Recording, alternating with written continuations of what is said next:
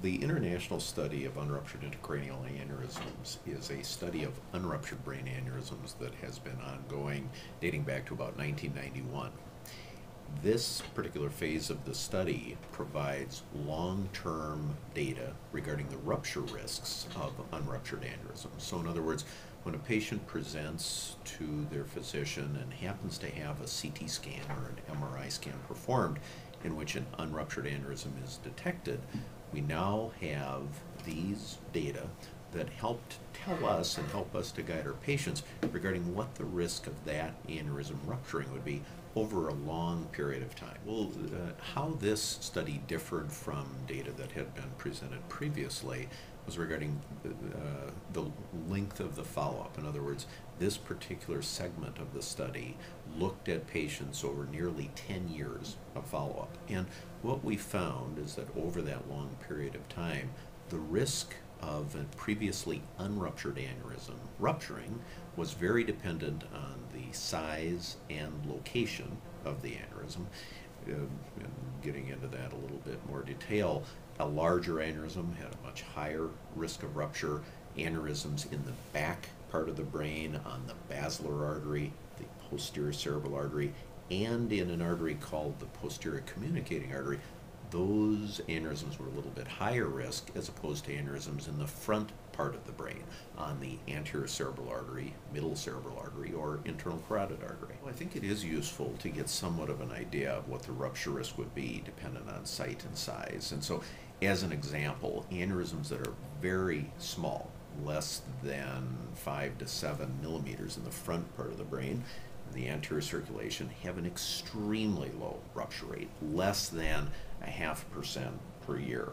Whereas on the other end of the spectrum, aneurysms that are greater than 25 millimeters in size, so this is a very large aneurysm, have a rather striking rupture rate of up to 5 plus percent per year. And so there is a very much significant difference based on size. And then when you think about aneurysm location as well, an aneurysm on an artery in the back part of the brain might have a two times or three times the likelihood of rupture compared to a similar sized aneurysm on an artery in the front part of the brain. Another thing that we think about when it comes to aneurysm rupture rate is whether the patient has ever had a rupture before from some other aneurysm. That also does influence the rupture rate, particularly for very small aneurysms. Different way of thinking about it is if you're seeing a patient who's had a prior hemorrhage in the past from some other brain aneurysm, and if they have another aneurysm that's small and unruptured, that rupture risk is higher than if they would never would have had a prior history of a subarachnoid hemorrhage from some other aneurysm. So that needs to be taken into account when these patients are evaluated. When we detect an aneurysm on brain imaging, and I should say that aneurysms are extremely common, about 2% of the population have a brain aneurysm. So we are increasingly detecting them on CT scans and MRI scans done for reasons completely unrelated to the detection of the brain aneurysm. The question that the patients most commonly have for us is, what is the risk if I leave this alone? What's the risk of it rupturing over time? What the data from this study provides is information that we can provide to the patient regarding what the likelihood of that aneurysm rupturing over the many years ahead so that they can compare that risk to the risk of treatment and make a very educated decision with our guidance regarding whether that should be left alone or whether something should be done to the aneurysm as far as aggressive treatment. Most common treatments for aneurysms uh, include an aneurysm clipping, which is an actual neurosurgery procedure in which a small section of the skull is removed and the neurosurgeon goes in and puts a tiny metallic clip across the base of the aneurysm, treating it in that way.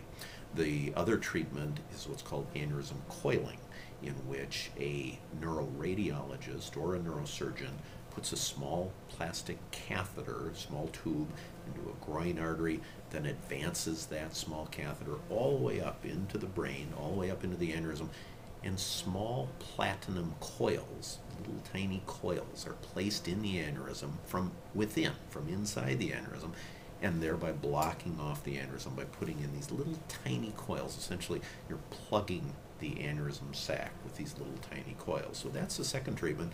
And then the third management option, if you will, is to leave it alone, to monitor it over time with repeat CT scan or MRI scan, treat hypertension, that is high blood pressure if it's present, uh, assisting a patient in smoking cessation if they're a cigarette smoker.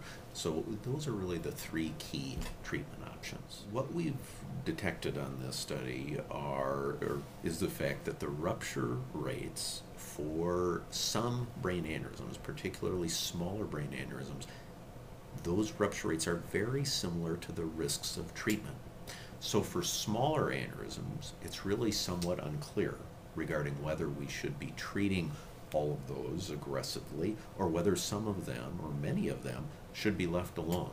So the next step in the research is to look into those smaller aneurysms in more detail and consider a research study in which some patients are treated and others are left alone so that we can finally get the answer regarding whether these small unruptured aneurysms should be left alone or whether they should be treated. A very important message for our patients who have an unruptured aneurysm, and as discussed, this is extremely common, an important point for them to understand is that having an aneurysm does not necessarily mean that they have a ticking time bomb in the brain. sometimes in the in years past or decades into the past, that was the thinking. If you had a brain aneurysm, that it was an extremely serious situation that needed to be treated immediately. It ends up actually that particularly for smaller aneurysms, and whether they be in the front part of the brain or the back part of the brain, the rupture risk is relatively low. And so a patient can very carefully consider what the risk of a rupture might be and what the risk of treatment might be, and then make that decision because certainly not all small aneurysms need to be treated. Many of them can be left alone and then assessed on a intermittent basis with repeat CT scan or MRI scanning, and then over the course of time decide if anything further needs to be done.